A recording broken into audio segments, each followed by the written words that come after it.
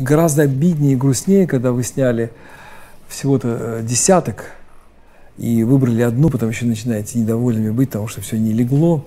Когда лучше вот не останавливаться, тем более, что вам стоит купить э, флешку пошире и э, потратить время побольше, тем более свет хороший. Видите, как нужно фотографии снимать много, чтобы сделать одну. Есть какое-то волшебство в этом бесконечном танце форм. Я пытаюсь сделать светлее, темнее, посмотреть, где, где баланс.